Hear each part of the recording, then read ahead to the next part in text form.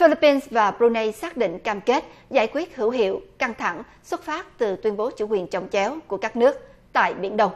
Bộ Ngoại giao Philippines cho hay trong cuộc gặp tại Brunei hôm 10 tháng 7, Ngoại trưởng Albert de Rosario và người đứng đầu ngành ngoại giao thương mại Mohamed Bokiat của Brunei nhất trí tìm cách giải tỏa các mâu thuẫn bằng những biện pháp ôn hòa theo đúng Công ước Liên Hiệp Quốc về luật biển 1982.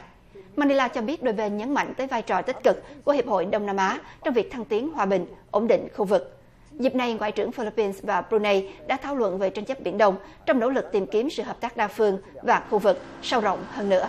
Cả Philippines và Brunei đều có tuyên bố chủ quyền một phần ở biển đông vùng biển mà trung quốc nhận chủ quyền hầu hết. Trong khi Philippines mạnh mẽ lên tiếng phản đối các hành động của Trung Quốc, thì Brunei hầu như im lặng về những diễn tiến ở khu vực tranh chấp.